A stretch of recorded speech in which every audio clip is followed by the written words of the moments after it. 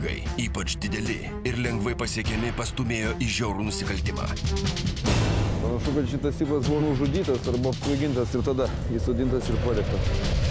Tačiau kartais akivaizdus faktai gali apakinti ir profesionalus. Dabar supratau, kas yra genialusis inspektorius Rakščius. Visi tyli, net kai jis yra neteisus. Ar kriminalistai išnarplios dar vieną kruopščiai surekstą nusikaltimą? Čia nesusipratimas.